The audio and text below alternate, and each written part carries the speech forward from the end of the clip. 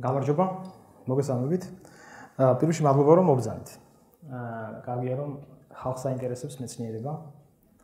თუნდაც საფიქრობდეს რომ გახდეს მეცნიერი. ისე აქ აბიტურიენტები არიან ბევრი მოსული და ზოგი ფიზიკაზეა, ფიზიკაზე აპირებს, მათემატიკაზე, ფიზიკაზე და არის ისეთებიც რომლებიც არ აპირებენ. ასეზე ასმევენ, სხვაგან აბარებენ. ინტერესი რო გაქვთ, კარგია. ძალიან კარგი. აა ხო, ну, აი მინდა ისეთ რომ ეს არის სერია, იქნება სერია ლექციების, 6 სერია, 6 ლექცია იქნება ჯამში. აა ყველა ლექცია მიეძღვნება სიოსხლის შეაძლო სიოსხლის არსებობას, მათ ფორმებს ჩვენ სამყაროში. აა აი პირველი ლექცია ეხება აა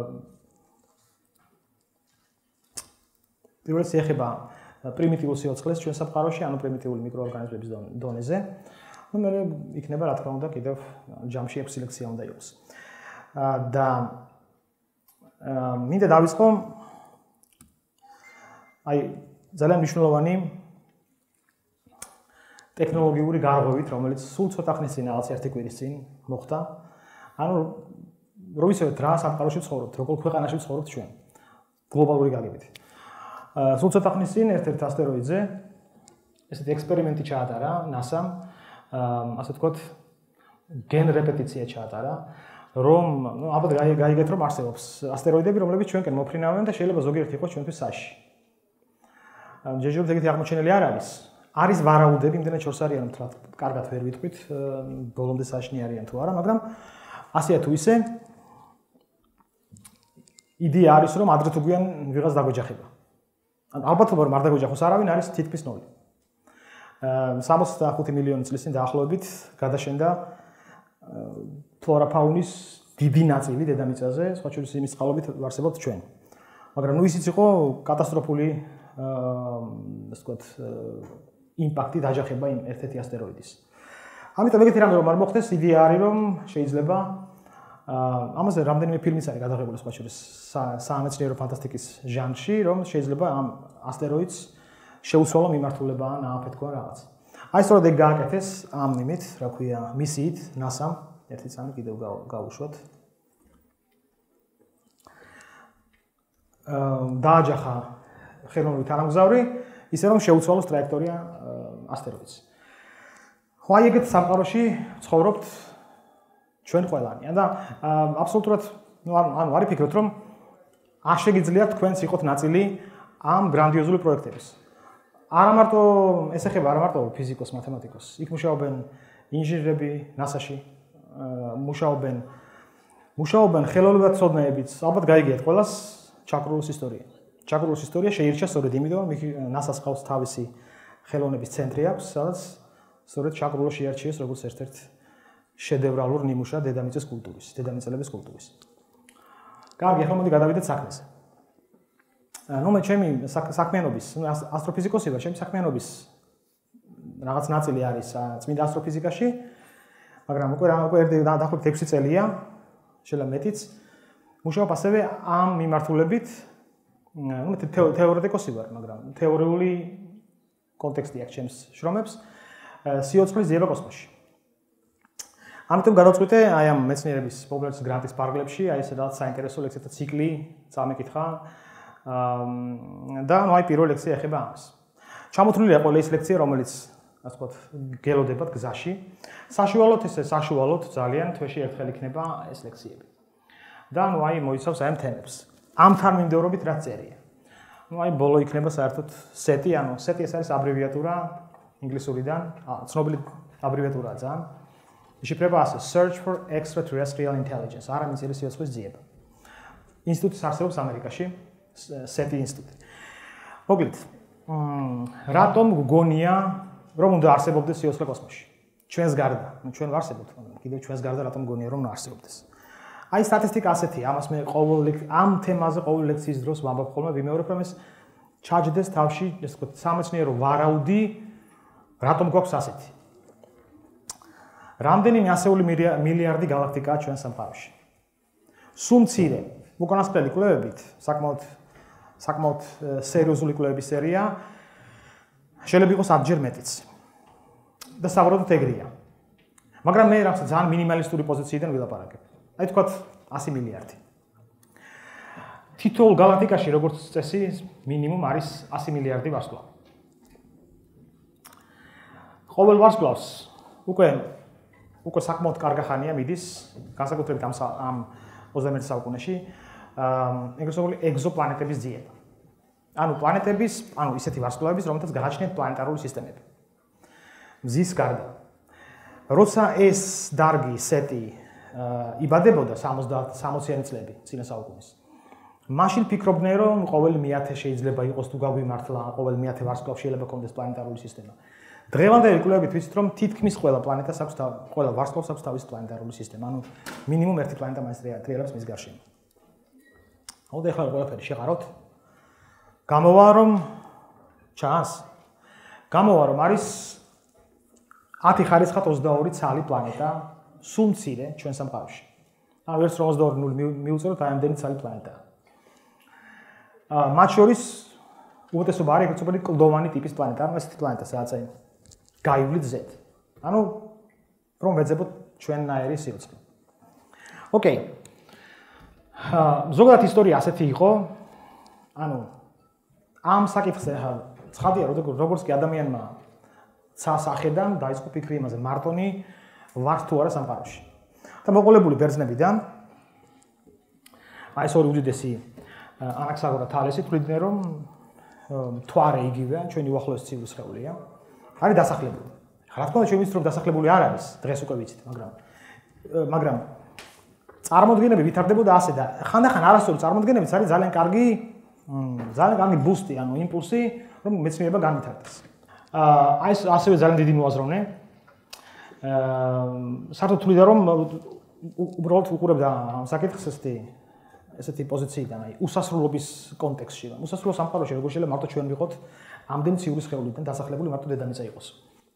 კლასიკურ პერიოდში მოვდივართ ევროპის და ნუ აი ჰიუგენსი ერთ-ერთი დიდი ფიგურაა, ნუ მას ეკუთვნის უდით მას ჯეგეთის არის ფაქტობრივად ოპტიკის დამაარსებელი, ერთ-ერთი დამაარსებელი ჰიუგენსი. აგრეთვე არის ძალიან საინტერესო ობიექტის აღმოჩენიც თავის ძმასთან ერთად მან აღმოაჩინა ტელესკოპი აწყეს და აღმოაჩინეს ნუ ერთ-ერთი ყველაზე ლამაზი პლანეტის ჩვენი სისტემის ერთ-ერთი ყველაზე ძალიან ესთეტურად ლამაზი პლანეტის სატურნის ერთ-ერთი თანამგზავრი ტიტანი, რომელიც აღმოჩნდა რომ ძალიან საინტერესოა დღევანდელი საუბრის კონტექსტში და ცოტა ხანში ვისაუბრებ მაგას. აა წინა ცოტა უფრო გვიან რომ დაუბრუნდე, ეხლა უფრო ჩვენკენ ვუახლოვდებით დროს, ორი ძალიან დიდი ფიგურა ასტრონომიაში. იტალიელი და ამერიკელი ასტრონომები. აა აკვირდებიან თავის ტელესკოპებით მარსს და აღმოაჩენენ ძალიან აკეთებენ ჩანახატებს, აღმოაჩენენ ძალიან საინტერესო უცნაურ სტრუქტურებს მარსზე, ეგრეთ წოდებული მარსის მარსიანულ არხებს. აი პერსონალ ლოუელი და ესე იგი სკიაპარელი ორივე აკეთებს ამ ჩანახატებს და ორივე ფაქტორი თითქმის ერთდასწრამდე მიდიან რომ ესე იგი ეს ეს არხები იმდენად ბევრია რომ შეუძლებელი იყოს იყოს ბუნებრივი წარმოშობის. აა მაგრამ მოდის კოსმოსური ერა, დგება კოსმოსური ერა. აა მარსზე უშვებენ ამერიკელები მარინერს, პირველი თანამგზავრი რომელმაც ფოტო გადაიღო მარსიდან, გამოაგზავნა. საბჭოელები უშვებენ ვენერას ვენერა 976 წელს. და ფოტოებიდან ვიგებთ რომ არაფერი მსგავსი ეგეთი არ არის ანუ სიოცხლე ჩვენაირი სიოცხლე ესეთი ადამიანები მარსიანელები და ვენერიანები იქ არ დადიან. მაგრამ ანუ თითქმის ყველაფერი წყალში იყდება. თითქოს მაგრამ საქმის გახლავთ რომ საქმის გახლავთ რომ მარსზე არის წყალი. თან საკმაოდ დიდი რაოდენობით. უბრალოდ ეს წყალი არის არა იმ აგრეგატულ მდგომარეობაში, რომელიც გვინდა რომ იყოს, რომელშიც გვინდა რომ იყოს თხევადში. ხო? აა თუმცა, თუმცა ერთ-ერთი სატელიტი, რომელიც მარსის გარშემო იღებდა პერიოდულად აი ჩანს კიდევაც მესეჯს ან ამას გადავა. მარჯვენა სურათს. ჩანს ერთ-ერთ მარსიანულ მთის ფერდობზე აა იმ ორბიტერმა მარსის გადაიღო წყლის ნაკადი.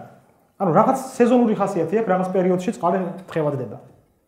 და აი ჩამოედინ ჩამოედინება. რატომ აქვს სეზონური? იმიტომ რომ შემდგომ შემოვლაზე ეს ეს სტრუქტურა აღარ ჩანს იქ. ესე იგი რაღაც გაიყინა ან მეტი აღარა ჯერჯერობით და მოკლედ ფაქტია რომ წყლის თხევადი ასე ვთქვათ, აგრეგატული მდგომარეობა იქ ხდება. ოღონდ ყოველთვის არა. და ეს არის თელი, ასე ვთქვათ, თელი თელი, ნუ ეს ძალიან დიდი პრობლემაა. გავიგოთ მარსის ისტორია როგორი იყო. მეტნაკლებად შორეული ისტორია. ამას დაუბრუნდები კიდევ ერთხელ. მაგრამ ძალიან საინტერესო ისაა, რომ ჩვენი სისტემის, მზის სისტემის დანარჩენი ციური სხეულებიც ძალიან უცნაური ტიპები არიან. უცნაური მიფშინაარსით, რომ მაგალითად იო ეს არის ერთ-ერთი თანამგზავრი 4 დიდიდან ერთ-ერთი თანამგზავრი და უფრო მეტი ყავს იუპიტერის თანამგზავრები არიან. ნუ იქიდან რაღაც უცნაური გეიზერი ამოიფრქვება. ევროპა ძალიან საინტერესო, რომელიც ასევე იუპიტერის თანამგზავრია. აქეთ ნაჩვენები მარჯვენაზე. ევროპა საერთოდ ითვლება ითვლება რა უკვე დადასტურებულად ვიცით რომ არის წარმოადგენს წყლის თან თხევადი წყლის უფრო მეტ მარაკს შეიცავს ვიდრე დედამიწაზე არის წყალი. ანუ ევროპა წარმოადგენს ყინული დაფარულ პლანეტას, დავარქვათ პლანეტა, სადაც დაახლოებით 20-დან 50 კილომეტრიანი ყილუნის სისქის ქვეშ არის არც მეტრი არც ნაკლები ოკეანე. სხვა საკითხია, როგორ დადასტურდა ეს ყველაფერი, ნუ სპექტროსკოპიითაც, მათ შორის გადაღებული ფოტოებით, მისი ანალიზით, მაგრამ დღეს უკვე ძალიან კარგად ვიცით, რომ იქ არის იქ არის უშველებელი რაოდენობის თხევადი წყალი. ანუ რაღაცნაირად ოპტიმიზმი შეიძლება ესე ესე შევხედოთ ესე დინამიკას ოპტიმიზმის თავიდან რა საშუალოდ ფიქრობდა ყველა ნუ რა თქმა უნდა იქ ცხოვრობენ ვიღაცები. ხადახა ხეს გვიქნებენ მაგრამ უბრალოდ ვერ ვხედავთ. აა დაიწყო შემდეგ კოსმოსური ერა და ყველაფერი ჩაიყარა წყალში იმიტომ რომ ნახეთ რომ მარსიც არიელი ანუ დასახლებული არ არის თვარე ხო არ არის და არ არის. ვენერა და ასე შემდეგ. მაგრამ აი აქ დღევანდელ პერიოდში ქვემოთ რაღაც საინტერესო მიჯნა იწყება არის დარგესტი, რომელიც არის ესეთი ინტერდისციპლინარული დარგი, ამას ქვია ასტრობიოლოგია, რომელიც არის იკვლევს შესაძლო ბიოლოგიას სიოცხლეს კოსმოსში. რა თქმა უნდა, ასტრო, იმიტომ რომ ასტრონომიული კონტექსტი აქვს ამას. შეიძლება თუ არა სიოცხლე იყოს სხვაგანაც დედამიწის გარდა. და აა საერთოდ რატომ გგონია? მე ყოველთვის ვამბობ რომ აი როცა მეცნიერები ლაპარაკობთ იმაზე, რა რაღაც ვარაუდები გვაქვს. ხა მე როცა მეკითხებიან არის თუ არა ფაქტობრივი მასალა იმის, რომ სიოცხლე არსებობს სადმე. არ არის. ჯერჯერობით არაფერი არ არის. მაგრამ მეცნიერება ესე ვითარდება, ცარიელი ადგილი არსებობს ყოველთვის და იმ ცარიელ ადგილზე შეიძლება რაღაც დააშენანტო. ჩვენ არ ვიცით არის თუ არა, მაგრამ ძალიან სერიოზული არგუმენტები გვაქვს, რატომ გგონია რომ იყოს. მუღამიერი შემდეგი.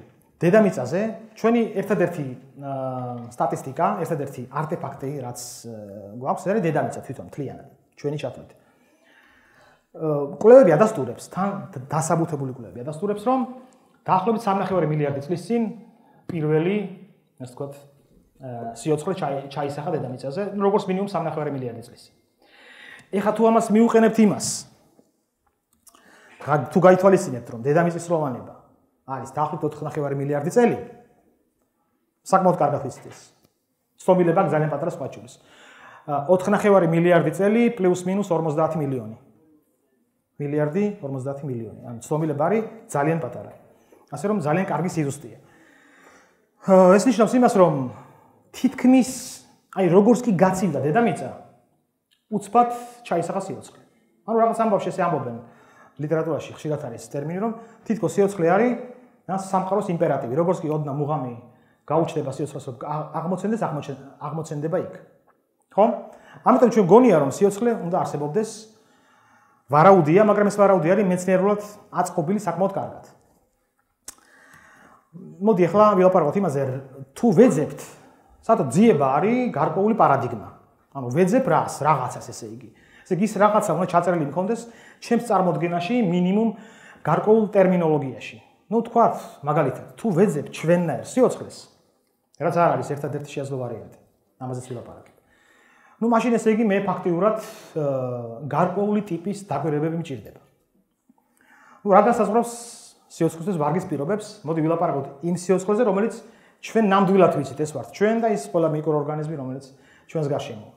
ну წერია პარამეტრები დაახლოებით, თქვა რა რადიაციას უძლებს ადამიანი. აა როგორია, ანუ როგორია რა ტემპერატურებს უძლებს, როგორ წნეებს უძლებს და მსგავსად მიკროორგანიზმები ასევე. მე დღეს პრინციპში მეორეზე ვლაპარაკობ, უნდა ვილაპარაკო. როგორც შეხედეთ, როგორც ჩანს, დედამიწაზე არსებული მიკროორგანიზმები საკმაოდ საკმაოდ ისეთები არიან. მაგრამ საკმაოდ ექსტრემალურ პირობებს უძლებენ ჩვენთან შედარებით.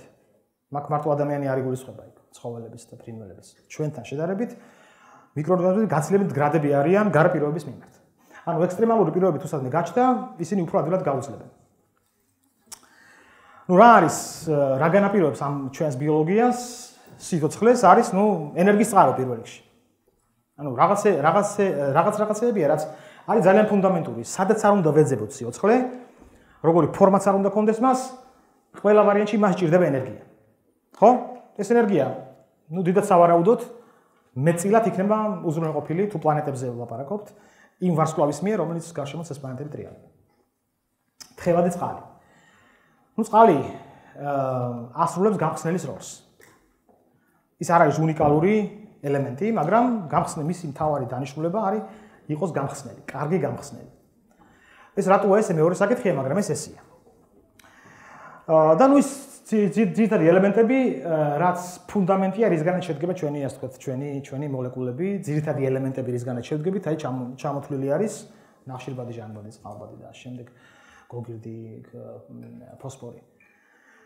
კი, შეიძლება იყოს სხვანაირი სიოცხლეც, მაგრამ მოდი ჯერ ვილაპარაკოთ იმაზე, როგორია ჩვენ ჩვენ ჩვენი რომ არსებობს ასეთი. ნუ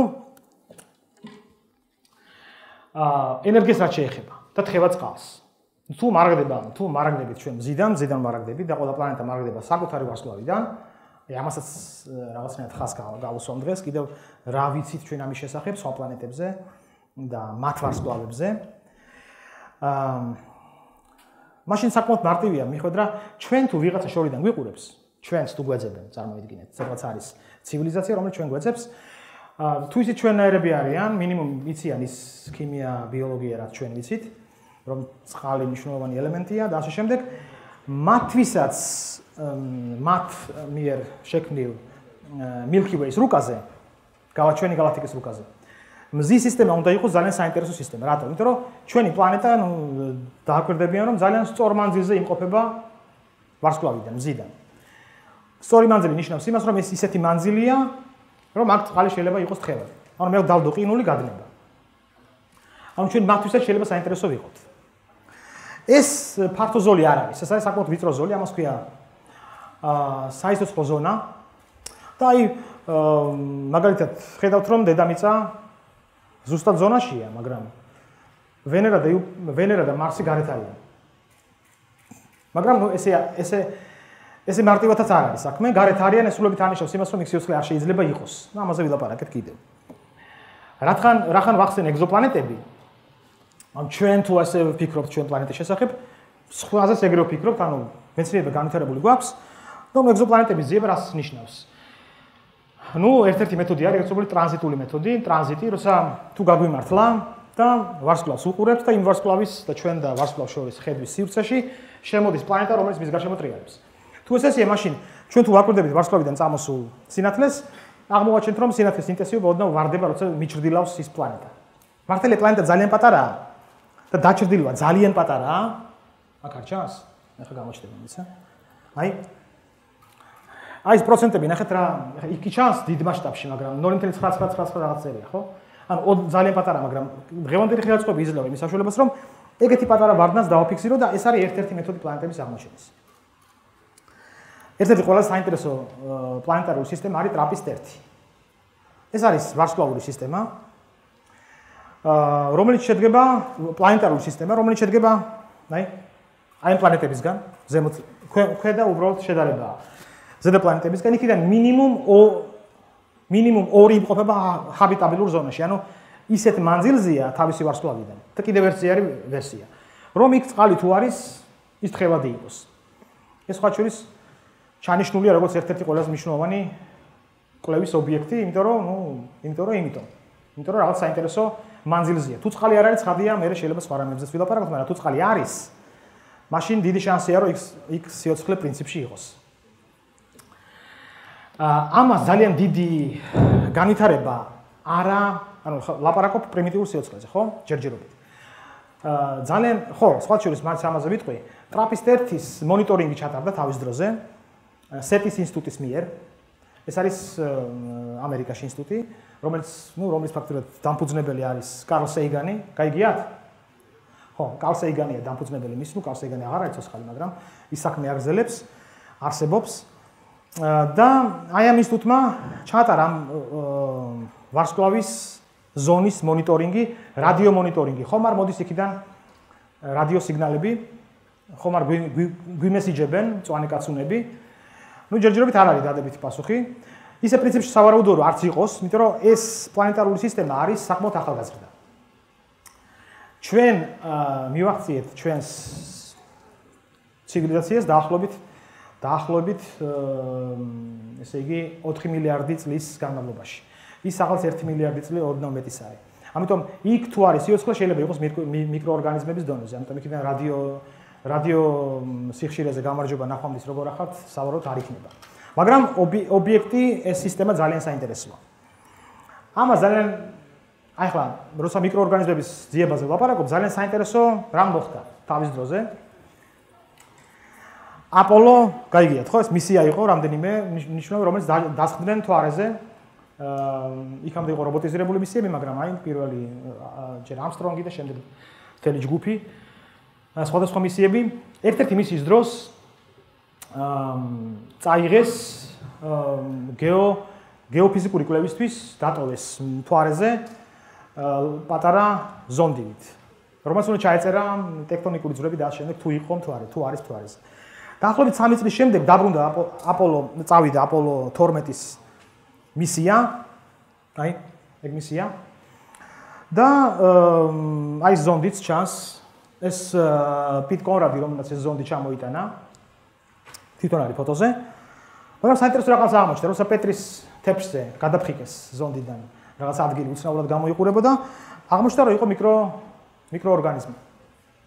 ძალიან ცნობილი დედამიწული წარმოშობის რა თქმა უნდა ანუ აქედან ჩატანილი იყო წინა მისიისას სავარაუდოდ აა და მაგრამ გაცოცხლდა პეტრის თეფშში, როცა პირობები შეუქმნეს, თითქმის სამწლიანი ძალიან კაცრი, ნულოვანი ეს თქვა წნევის, ნულოვანი კელვინის -273 გრადუს ცელსიუსი ტემპერატურის პირობებში ეს მიკროორგანიზმი მაინც გადარჩა. მთელი თან, მთელი კოლონია გადარჩა მიკროორგანიზმების. ეს საკითხი მაინც ღია დღემდე. ვიღაცები უყურებენ სკეპტიკურად, მაგალითად, ეს გამოქვეყნებულია შრომა იმავე წელს მაგრამ სულ ცოტა ხნის წინ მაინც ობიექტურობის უნდა ითქვას, რომ სულ ცოტა ხნის წინ ერთ-ერთმა ჯგუფმა ასე სკანდალურის გააკეთა, რომ ეს იყო თავად იმ მეცნიერების მიერ დაბინძურებული იმ მომენტში ნიმუში. ანუ ეს ეს ეს მიკროორგანიზმები იყვნენ იმ მომენტში შეტანილი იმ პეტრის თერფში და არა იქიდან წამოღებული. მოკლედ, მე მის მომიდა რომ ხო, სამ პრობლემა იმდენად დიდია ჩვენ სიოცხლის ძიება. ჩვენ არის არა მარტო.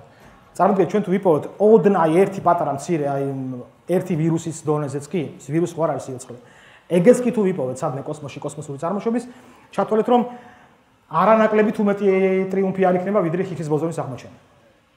ეს არის უდიდესი გამოწვევა აი ჩვენი ცივილიზაციისთვის. ვენერა რომელიც არის ძალიან გადამწვარია ფაქტიურად ძალიან ძალიან აქტიურია ვულკანური აქტივობა ძალიან ძლიერი ვულკანური აქტივობა ნიშნავს იმას, რომ ვულკანური წარმოშობის ვართ ჩვენ სხვა შორის ერთ-ერთი ვერსიით, სწორედ ვულკანურ აქტივობამ შექმნა სიოცხლეის ის პირველი სხვა ჩანასახი, ის შემერეც ევოლუცირდით. აი ჩვენამდე და აქ თქვენს ხეთხარ და მე რაღაცას გიყობით, ხო? მაგრამ იქ პირობა პირობა ჩაოლებრივ სიტუაციაში არის ძალიან მაღალი ტემპერატურა, ამიტომ ჩვენაერი არსები ვერ ვერ ვერ სხვა არათუ ვერ გაჩდებიან, ვერ რომ შეიტანო, უბრალოდ იქვე დაიღუპებიან. მაგრამ ვენერაზე ვენერის ატმოსფეროს მონიტორინგი საკმაოდ კარგი ხანი მიდიოდა, ატმოსფეროს საკმაოდ დეტალურად იკვლევდნენ და მონიტორინგის წყალობით ვიცით განაწილება როგორია წნევის ტემპერატურის და შემდეგ ატმოსფეროში. რაღაც ადგილზე არის წნევა და ტემპერატურა იმდენი რამდენი ჩვენთან. თუ იქ არის წყლის მოლეკულები, ისინი ორთქლის სახით იქნებიან. ანუ იმ 50 კილომეტრზე შეიძლება იყოს ვენერაზე მიკროორგანიზმების დონეზე მაინც იოცხლე. ოღონდ ეს ამაზე საკმაოდ სერიოზული მას კვლევები მიდის დღეს უკვე. ერთ პერიოდი მიივიწყეს და ახლა ისევ ისევ წავიდა ამაზე საუბარი. რაღაც საინტერესო ეტაპში შევდივართ აი ამ დარგის ასე ვთქვათ ხალხი საკმაოდ საინტერესო რამეა. მაგრამ ყველა საინტერესო ობიექტი ჩვენ სიახლოვეში არის მაინც მარსი. ნუ მარსზე ოდესღაც იყო წყლის რაოდენობა დიდი. თხევადი წყლის რაოდენობა. სადღაცას დაახლოებით მილიარდი წელი მდინარეები აა მიედინებოდნენ მარსზე. დაახლოებით. მილიარდი წელი საკმარისია რომ გაჩენილიყო როგორც მინიმუმ მილიარდი. რომ გაჩენილიყო სიოცხლე. და აა სიოცხლის ერთ-ერთი მთავარი აა ეს თქვათ აა ინდიკატორი ოღონდ არა ცალსახად, არა პირდაპირ არის მეთანის არსებობა. იმიტომ რომ მეთანი შეიძლება იყოს ბიოლოგიური წარმოშობის. და აი ეს არის curiosity, ალბათ იცით, ერთ-ერთი, ანუ მარსმავალი 2012-ში გაუშვეს, დაჯდა უბრალოდ მარსზე. და curiosity-მ მოახდინა, ნუ მას აქვს ბევრი მოდული შიგნით პატარა და ერთ-ერთი არის გამოიკვლიოს ქიმიური შემადგენლობა როგორია ატმოსფეროს. ქიმიური შემადგენლობა როცა გამოიკვლია, ჩაატარა ანალიზი, აღმოჩნდა რომ აი წითლად ნაჩვენები არის მეთანის დიდი რაოდენობა. ანუ მეთანის საკმაოდ ესე კითხვის ნიშნით დიდი რაოდენობა, ანუ რაოდენობა, რომელიც პრინციპში არც თუ ისი ადვილად აიხსნება გეოქიმიური ფაქტორებით. აიხსნება, ოღონდ არც თუ ისი ადვილად. ცოტა ეგზოტიკური გზებია საჭირო. ამავე კიურიოზიტემ აღმოაჩინა, რომ არსებობს მეთანის სეზონური ცვლილება. მიკროორგანიზმები სეზონურად სეზონურად აქტიურდებიან დედამიწელი მიკროორგანიზმები და მე მიიძინებენ პირობითად რაღაც მსგავსი იქაც არის. რა თქმა უნდა არ ვიცით მიკროორგანიზმებით გამოწეულია თუ არა, მაგრამ კითხვის ნიშნები უფრო და უფრო მეტი ჩნდება. აი რაც რაც დრო გადის. და ყველაზე საინტერესო ქვის ნატეხი. ეს არის 82 წელს ამერიკელებმა ანტარქტიკაში იპოვნეს, აღმოაჩინეს მეტეორიტი, რომელიც არის მარსიანული წარმოშობის. ანუ ნამდვილად ვიცით რომ მარსიანული წარმოშობის, იმიტომ რომ ანალიზი შემადგენლობა ზუსტად იგივეა რაც მარსზე, მარსის, ესე ვთქვათ, ქანებში. როგორ მოხდა აქ მეორე საკითხი, ანუ სავარაუდოდ რაღაც დაეჯახა ის ხლითა და ეს ნამსხვრევი ჩამოხდა ჩვენთან. ერთ-ერთი იპოვნეს აი ეს არის კოდური სახელი მისი და საინტერესო არის რა? და როდესაც ამ ქვის, ესე ვთქვათ, ასე რა ქვია მაგას? ნატეხს შეხედეს მიკროსკოპში, ელექტრონ მიკროსკოპში, გამოჩნდა ბაქტერიის მსგავსი სტრუქტურები. მაგრამ ერთია ნაჩვენები, ერთი არ არის. საკმაოდ ბევრი. აა ну რა თქმა უნდა ეს მკვდარია, თუ ეს ბაქტერია იყო ოდესღაც, ის ახლა აღარ არის ბაქტერია, მაგრამ საქმე საქმე ის არის, რომ ეს იყო თქვენ რომ გახსნათ იმდროინდელი ლიტერატურა, დაწყებული ჩვეულებრივი ტაიმსიდან, დამთავრებული სამეცნიერო ლიტერატურით, რა ვიცი, ყოველდღე იწერებოდა რაღაც. აა წავიდა პერიოდი ნოკლევის, რა თქმა უნდა, აღმოჩნდნენ скептикოსებიც. უმეტესობა скептикოსი აღმოჩნდა, თქვენს რომ ნუ ეს იყო რაღაც ნუ ილუზია. ერთ-ერთი მიზეზი, რის გამოც რის გამოც ამას скеპტიკურად უყურებენ, უყურებდნენ, კარგახანი იყო ის, რომ ეს სტრუქტურა არის გაცილებით პატარა ვიდრე ტიპიური ბაქტერიის ზომა. და ამიტომაც რაღაცნაირად უარი თქვეს, რომ ეს წარმოადგენდა ფაქტიურად აღმოჩენა სიოცლის მარსზე წარსულში. მაგრამ 2001 წელს დაიწერა ძალიან ვრცელი სამეცნიერო კვლევა, სადაც დაადასტურეს, რომ ამ სტრუქტურებში ნაპოვნია ეგრეთ წოდებული მაგნეტიტის კრისტალები. ოღონდ უბრალოდ მიყრილი კი არა, დაალაგებული მწკრივით. მწკრივად ალაგებს მხოლოდ ბაქტერია. სხვა მექანიზმი, რამაც შეიძლება მწკრივად ჩაალაგოს ეს მაგნიტურთვისების მქონე ეს ნივთიერებები, ჩვენ არ ვიცით. ამიტომ თითქმის იმ სტატიაში ხო ესე ამბობენ, თითქმის დადასტურებულად შეგვიძლია ვთქვათ, რომ ეს ალბათობა იმის, რომ ეს არის ბიოლოგიური წარმოშობის გაცილებით მეტია, ვიდრე რომ ეს იყოს რაღაც ბუნებრივი წარმოშობის. ну თუმცა საკითხი დღემდღეა. ჩვენ არ ვიცით. არის თუ არა, მაგრამ ძალიან ბევრი მინიშნები ჩნდება. და ესეთი. კაი, გავაგზავნოთ მე ვახსენე ევროპა. ეს არის ერთ-ერთი თანამგზავრი, ერთ-ერთი ყველაზე დიდი ცნობილი თანამგზავრი იუპიტერის. ევროპა დაფარულია ყინულის ზედაპირით. და ნუ პერიოდულად იქიდან ამოიფრქვება წყალი, რომელიც მე ზედაპირზე იყინება და რჩება. სხვა შორის ეს ფერებიც არ არის პირობითი. ბევრი ფიქრობს მე შეიძლება იყოს მარილები და მარილი ერთ-ერთი ნუ თავარი კომპონენტია იგი ოკეანის ზღვის. ხო? ანუ ჩვენ ნამდვილად ვიცით რომ იქ არის წყალი, თხევადი, მაგრამ წყალი რატომ იყოს თხევადი? მაშინ როცა ეს ციური სხეული არის ძალიან შორს მზიდან. შეიძლება დათვლათ შეიძლება რამდენად შორს არის? საკმაოდ შორს არის მზიდან. რის გამო შეიძლება იყოს თხევადი? მიზეზი არის საკმაოდ მარტივი. ამოხსნილია მიზეზი ეს ჩვენ ვიცით რატომაც. მზის თვარის მიქცევა მოქცევა, ანუ ზღვა რომ თვარის გამო რომ მიქცევა მოქცევები გვაქვს ოკეანეებში. ყველას გაიგიათ. ამის მიზეზი არის რა? ნუ თვარე ხან ერთი მხრიდან არის, ხო, დაუშვათ. იქით უფრო გაწელილია პირობითად ეს კონფიგურაცია წყლის, გლობალური წყლის. ნუ თვარე ტრიალებს, ამიტომ ეს წყალი ეხახუნება ამას. ზუსტად იგივე ხდება იქაც, იქაც ორი ორი ის თქვა ის მაქვს ციური სხეულია. უშველებელი გრავიტაციული ასე თქვა მიმზიდავი იუპიტერი, ყველაზე დიდი მასის მქონე ზეს თუ არ ჩავთვლით ჩვენ სისტემაში და ეს ვთქვათ ევროპა. ამიტომ ამ ტრიალის გამო შიდა გრავიტაციული ხახუნია, ამ ხახუნის გამო თბება ყინული და დნება და არის წყალი. ანუ იქ არის სტაბილურად წყლის რაოდენობა, ამიტომ NASA-ს აქვს დაგეგმილი ეს პროექტი უკვე დაფინანსებულია, ჯერ გადის ესე იგი ორი მიმართულებით არის. ერთი ნაწილი არის თეორიული დამუშავება, მეორე ნაწილი არის პროტოტიპების აგება იმ ზონდის, რომელიც უნდა გაიგზავნოს. იდეა შემდეგია. ზონზე უნდა იყოს ბირთული ენერგიის წყარო, თუნდაც ელემენტარული ურანი, ჩადებული რაღაცაში, რომელიც თავისთავად განისთის დაშლას და ცხელია. იქ დაждდება, გაადნობს, ჩავა. ადგილები არის, სადაც სიღრმე ყინულის არის დაახლოებით არა არა 30 კილომეტრი, არამედ 15 კილომეტრი და ნუ ჩავა იქ წყლის დონეზე უკვე, სადაც წყალია და იქიდან გადაიღებს ფოტოებს და გამოაგზავნის ინფორმაციას უკვე ზემოთ. ეს ერთი, ვთქვათ, მნიშვნელოვანი რაღაც. ანუ ანუ ძალიან დიდი რაოდენობის წყალი ნამდვილად არის. ეხლა მეორე საკითხია, ეს წყალი სიოცხლისთვის ვარგისია თუ არა? ალბათ ის რომ pH-ი არის მნიშვნელოვანი.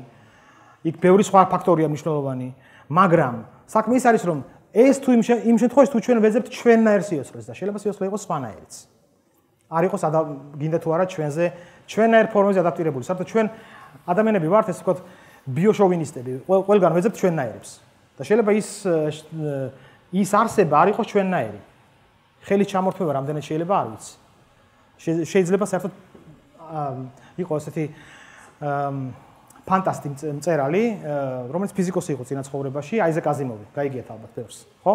ის ერთ-ერთ ერთ-ერთ იმაში აქვს გამოყენებული და თვითონაც წერდა, რომ შეიძლება იყოს სიოცხლის ფორმა, შეიძლება ერთ-ერთი იყოს პლაზმური სახის. პლაზმა არის რაღაც მაღალ ტემპერატურული რაღაც, ну ხელს ვერ ჩამოართმევ ყოველ შემთხვევაში, მინიმუმ დაგწოვს, ხო? მოკლედ ჩვენ არის როგორ ფორმებს ვეძებთ, რა რა გველოდება წინ, ეს წარმოქმნა არ გვაქვს, ამიტომ როცა რაღაცა არის ის ერთი მხრივ ძალიან კარგია, არაშოულებრივია, იმიტომ რომ არის დიდი ასპარეზი ახალგაზრდებისთვის, აი თქვენთვის, ვინც ახლა აქ ხართ და ვინც რაღაცებზე ფიქრობთ, რაღაც საინტერესო რამეებზე ფიქრობთ. და საინტერესო თუ არის ფიქრები. ის აზრი არა აქვს, ქვეყანა ინგრევა, სოფლიო დღეს ინგრევა, ხო, მაგრამ თვით გადარჩენის ერთ-ერთი საშუალება არის იფიქრო საინტერესო რამეებზე, სხვა შორის ერთ-ერთი მაინც გადაუხო. ერთ-ერთი მოტივი რის გამო საბჭოთა პერიოდში მე იქიდან მოვდივარ. ხალხი მიდიოდა მეცნიერებაში, ან ზოგადად კვლევაში იყო ერთგვარი შინაგანი ემიგრაცია, რომ გაქცეოდა იმ რაღაც იდიოტურ სისტემას, რაც იყო მაშინ. რაღაც ნაწილობრივ დღესაც რაღაც ყოველთვის ხდება სოფლიოში რაღაცეები, ამიტომ საინტერესო რამეებზე ფიქრი არის ადამიანის რაღაც ფუნდამენტური იმპერატივი. აა უფრო საინტერესო ობიექტი ალბათ არის სატურნის ერთ-ერთი თანამგზავრი ენცელადი. ხედავთ თქვენ, ეს არის კასინი. NASA-ს ერთ-ერთი პროექტია. კასინის გადაღებული შესანიშნავი ფოტოებია სატურნის. რაც გინახავთ, თუ სატურნის ფოტოები გინახავთ, ასე ძალიან ლამაზი რგოლი, ფერის რგოლებით, ხო? ეს არის კასინის გადაღებული. მის მიერ გადაღებული არის ენცელადიდან, ქართულად არის როგორ არის ენცელადია თუ ენცელადი, ნუ არის. როგორ არის, ხო არის? ქართულად ეს არის. მე მე მე მგონი ენცელადია. არის ამოფქვეული, ესე იგი, ამოფქვევები ხდება შიგნიდან, რამდენიმე ადგილზე დაფიქსირებულია ძალიან კარგად და შესწავლილი ამისი სპექტროსკოპიული ანალიზი ჩატარებულია. წყლის რაოდენობა ასევე ძალიან დიდი. მაგრამ რატო ენსელადი უფრო კარგი? იმიტომ რომ ენსელადზე სულ რაღაც 2-3 კილომეტრია სისქე ყინულის. ხანდახან ზოგადგილებში კილომეტრი ნახევარიც. ამიტომ თუ რამის პერსპექტივა აქვს, რამეს აქ უფრო ადვილია ჩახწევა სიღრმეში და ერთ-ერთი ფილანტროპი რომელიც აფინანსებს დღეს მეცნიერებას საკმაოდ საკმაოდ აქტიურად რაღაც საკმაოდ დიდ თანხას დებს ნობელზე მეტი არის სხვა შორის. ეს არის ყოფილი ფიზიკოსი. საბჭოთა წარმოშობის ფიზიკოსი ამერიკაში მოღვაწეობს. მილიარდერია.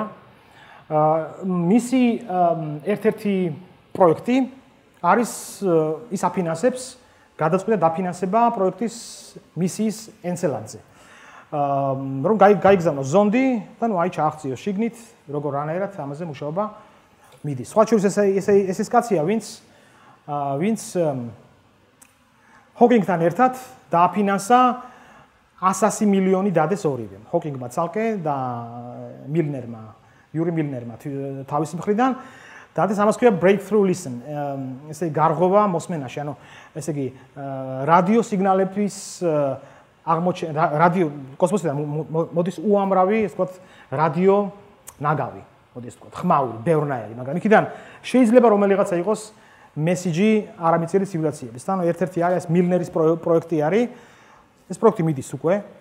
ძალიან ძალიან რამდენიმე დიდი ობსერვატორია ჩართული და მეცნიერების საკმაოდ დიდი ჯგუფია ჩართული, დაწყებული ჰარვარდიდან, ჰარვარდში არის ერთ-ერთი ცენტრი, კალტეხშია კიდე მეორე, კალიფორნიის ტექნოლოგიურში.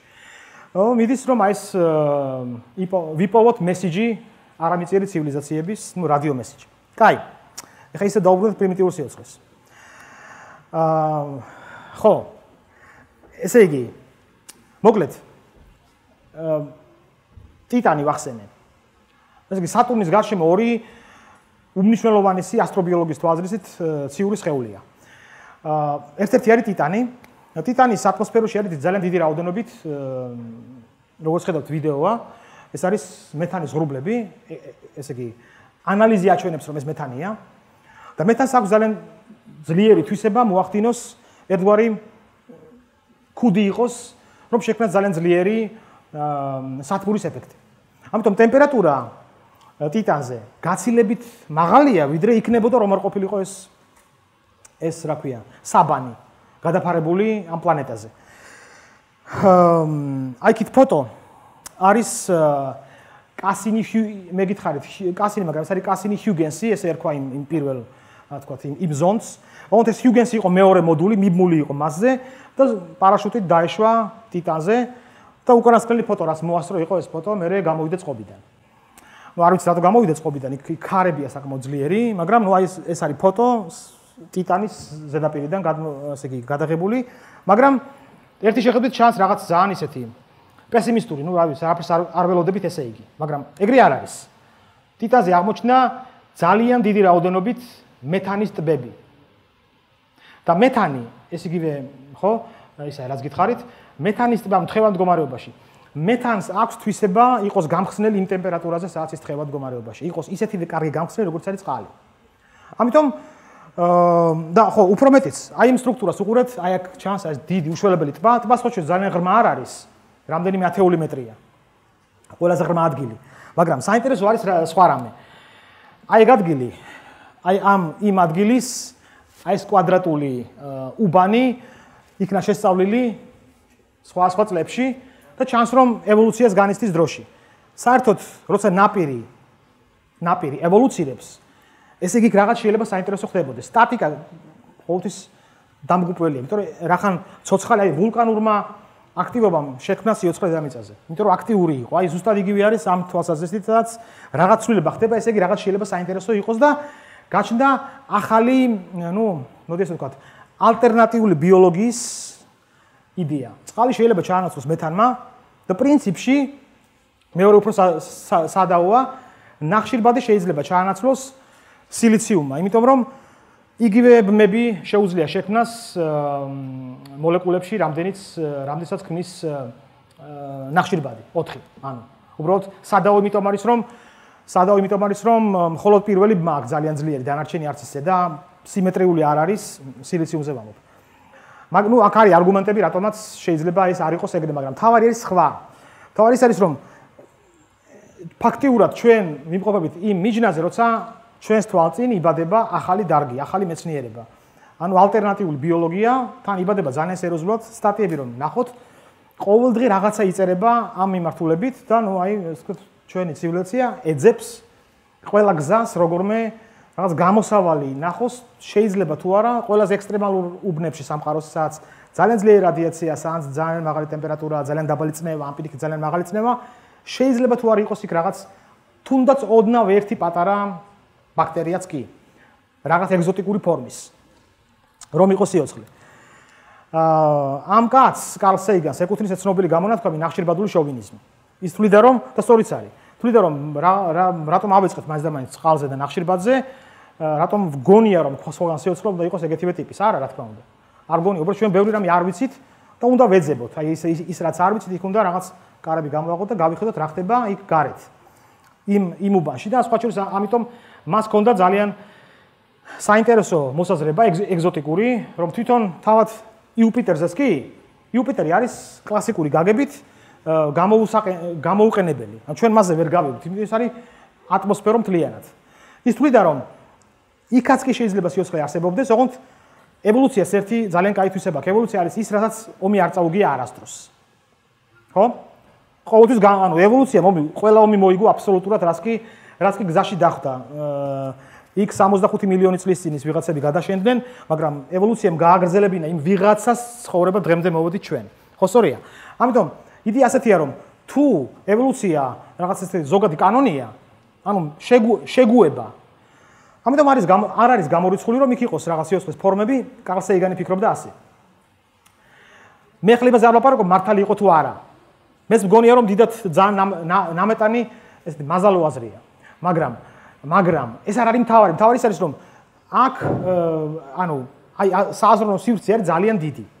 და ფიქრობდა რომ შეიძლება არსებობდნენ რაღაც ესეთი მედუზის ტიპის არსებები, რომლებიც წყალბად ძალიან დიდი რაოდენობითაა. იქ რომლებიც უბრალოდ ამოგდები ძალის გამო ეს დაფრინავენ უპრობლემოდ, ანუ ეგ შეიძლება იქ მოხდეს, ამიტომ შეგუების პრინციპიდან გამომდინარე შეიძლება მათი რაოდენობა საკმაოდ დიდი იყოს. პრინციპში ცალსახად ვერ ვიტყვით რომ ეგრე არ არის, იმიტომ რომ იქ არავინ არ ყოფილა ამ დონეზე რომ ერთ-ერთი ზონდი იქ ჩავარდა. და გადაიღო, სანამ ვარდებოდა რაღაცები გადაიღო, ანუ გადაიღო რა გაზომა, მოდი ესე ვთქვა, წნევა, ტემპერატურა, რაღაცები საკმაოდ კარგად ვიცით, მაგრამ ამ დონეზე ფოტოები გადაღებული არ არის, ამიტომ ვერ ვიტყვით. მაგრამ მე იქ იმის თქმა მინდა რომ არის რაღაც ძალიან დიდი დიდი ასპარეზი და თავის დროზე ამ ჩემ ჩემს ფერ ნახსენებმა ადამიანმა ეს რამე თქვა რომ აი თუ აიზე კაზიმოვმა რომ თუ იქ არის ზღვები, მაშინ დრო ვითევზაოთ. ანუ თუ სადაც სიოცხლე არსებობს, ნამდვილად დრო არის ვეძებოთ და ნამდვილად გვაქვს შანსი. ჩვენ ამ კითხვას დღეს არ ვიცით. ამ კითხვას პასუხი არ ვიცით, მარტონი ვარ თუ არა სამყაროში. მაგრამ ნამდვილად შემიძლია თქვა რომ თუ შენ ამაზე არ ვფიქრებთ, როგორც საზოგადოება აი ესე თლიანად დედამიწელები. პასუხს ვერ გავცეთ ვერასდროს, მაგრამ თუ ამას ვიფიქრებთ, პასუხი ადრე თუ გვიან ნამდვილად გვექნება და მე მგონია რომ პასუხი იქნება ძალიან საინტერესო და ეს ეს ყველაფერი არის თქვენს ხელთ, აი, წინ. დიდი მადლობა. კითხვები შეგიძლიათ დამისვათ.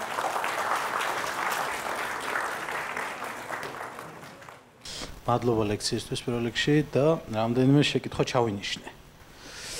აა მარსემ დინარე რომელიც სეზონური რო იყო 70 მეტრი ეწერა მგონი ხო? კი, ფერდობი. დინარი არ არის ოღონდ ეგ. ნუ რაღაც ჩამოვიდა და გაქრა. ხო, ანუ თითქოს მიფრინავს ზემოდან, ხო? ეს ზემოდან გადაღებული, ამიტომ ეს არის ფერდობიდან ჩამოდის ქვემოთ. ანუ სადღაც იქ მოძებნა გზა, გადნა, ასე პირობა იყო ისეთი ტემპერატურა იყო შესაბამისი და ჩამოედინა ქვემოთ.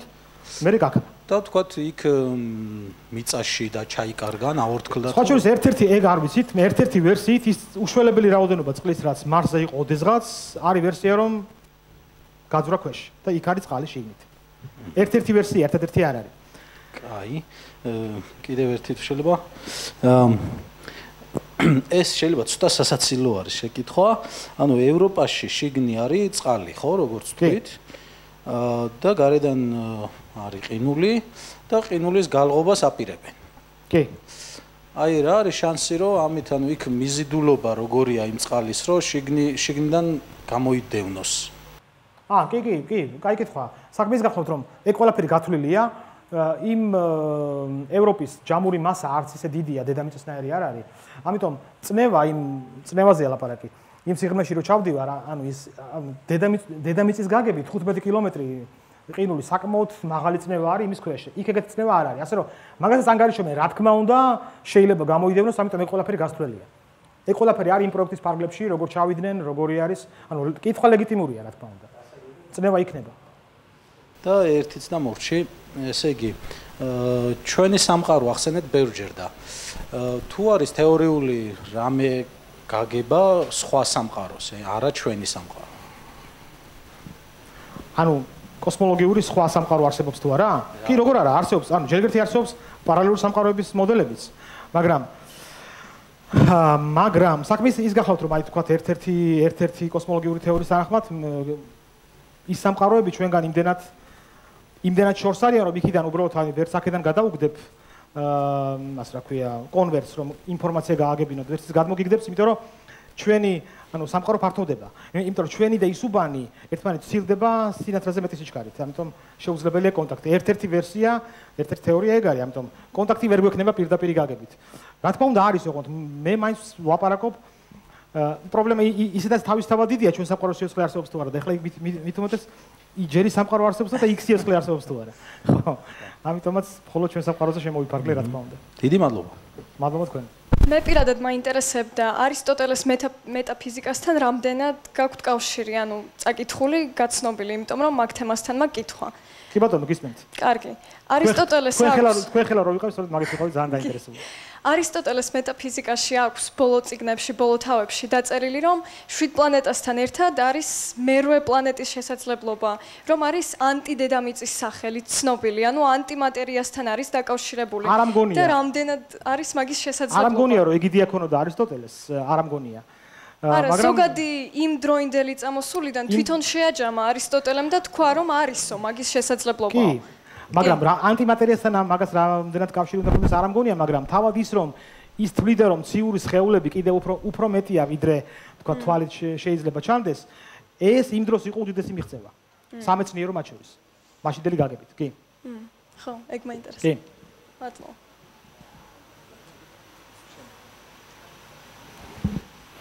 მოგესალმებით ბატონო ზოზა. მე მაქვს კითხვა მარსთან დაკავშირებით და მარსის არხებთან. თქვენ თქვენ ახსენეთ რომ შესაძლოა დინარები ედინა რაღაც მილიარდობით წლები ან 1 მილიარდი 1 მილიარდი მაინც ხო. და საიდან ვიცით რომ ეს ეს ზუსტად წყალი იყო რაც მიედინებოდა არა სხვა ნივთიერება ან თუნდაც მაგალითად ლავა არ თქვა შეიძლება ყოფილიყო. იგი კაი კითხვა ესე იგი ვიცით ლავა როგორ არხებს ტოვებს და იმ არხების სპექტროსკოპიით შეიძლება გამოკვლევა, ანუ წყალი როცა მიედინება და ტოვებს ტოვებს არხს იმ იმ ადგილის სპექტროსკოპია შენ გაძლევს ინფორმაციას, იქ წყალმა გაიარა თუ ლავამ გაიარა, ანუ მაგით იდენტიფიკაციას ვადგენთ. კიდე ძალიან გავს სწორედ წყალს. თანაც თანაც ისეთი ანუ სამეცნიერო საზოგადოება ძალიან ძალიან ფრთხილია ყოველთვის.